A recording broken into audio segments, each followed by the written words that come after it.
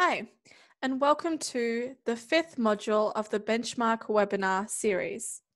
If you haven't already, check out the main benchmark webinar for more information on what the benchmark survey was and an overview of the CRISPR workflow, as well as check out the other modules in this series where we go over other specific points. In this module, we're looking at comparing your options. So what we want to cover is the true costs of CRISPR editing in terms of time and money spent, what are other options you have, especially in this day and age where you may not have access to the lab, what can you do to keep your work going? And then lastly, give you a checklist so that if you do want to go out and shop around, which we highly recommend that you do, how can you best compare your options? So we're here at the end of the journey where we're now, we have some cells. But the question really is do we have to do all of this work ourselves?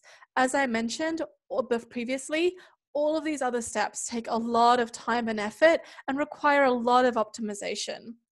And there is a real CRISPR challenge. What we learned from the benchmark report is that most scientists are only getting about an editing efficiency of 43%. It takes multiple attempts to achieve a CRISPR edited cell line, and many people are not very satisfied with their results. So, this is definitely a huge challenge in the field. Lastly, scientists are spending a tremendous amount of hands on time to create these CRISPR based models. So, this doesn't include incubation time. So, is there a better way? And if we combine all of these things together, what is the true cost of CRISPR?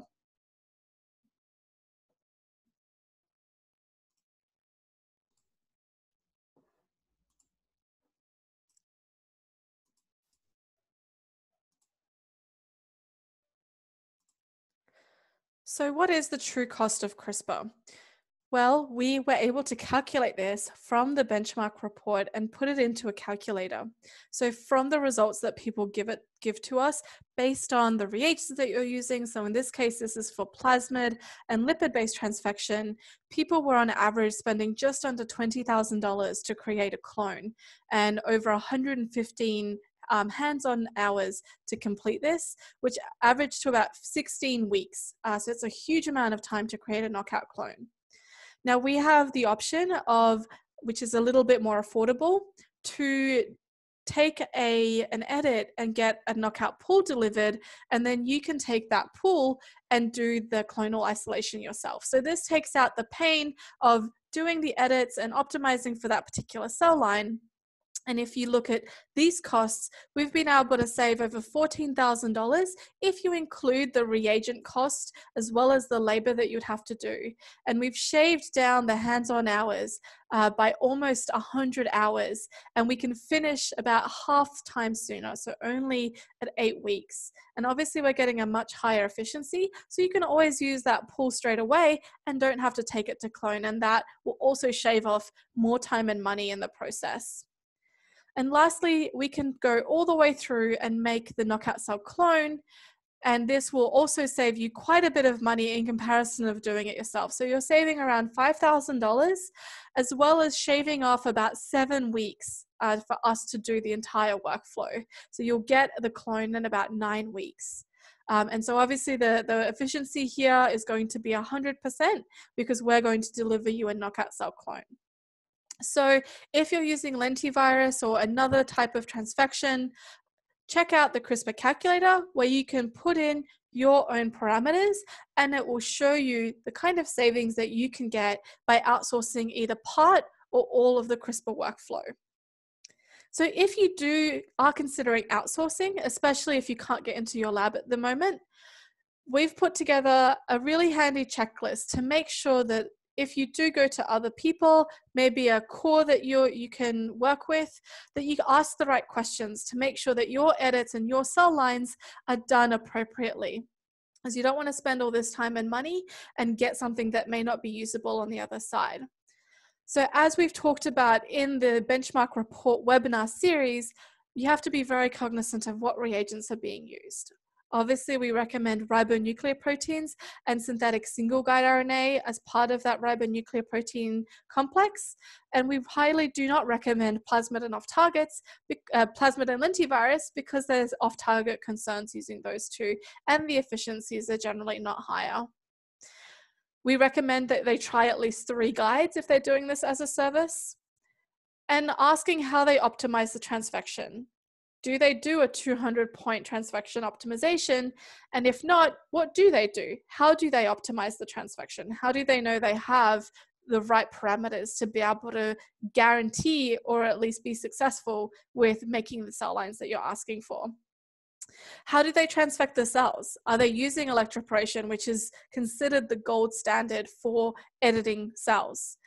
We know that lipid based transfection will reduce the efficiency of that transfection by 20 to 50%, again, reducing the potential for them to succeed in generating that model. And so we at Synthigo always use electroporation for all of our editing.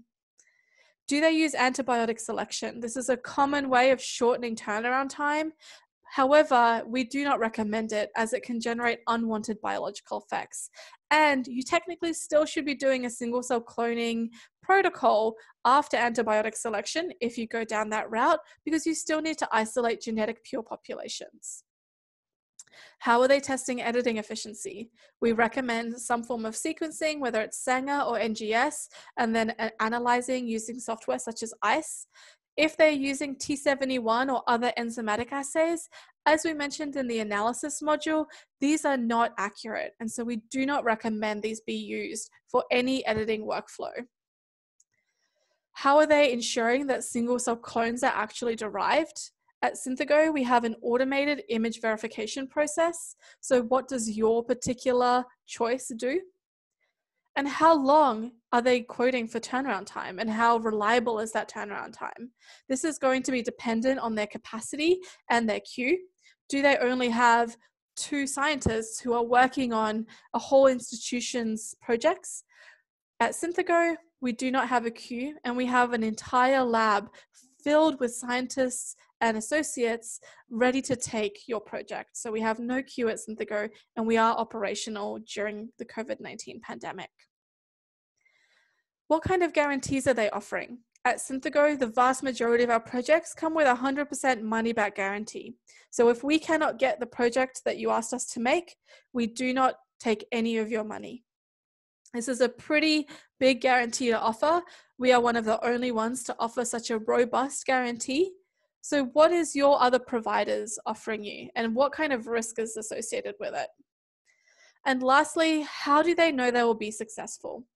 At Synthigo, we have conducted over 100,000 edits and we continue to optimize our workflow to get the very, very best results. So, how do you know that you're going to put down a potentially a lot of money, how do you know you're going to actually get the cell lines that you want and move your research forward? So this is a quick checklist so that you can really ask the best questions and make the most educated decision whether or not you outsource with us or anyone else or decide to do it yourself. This is a good thing to, to check.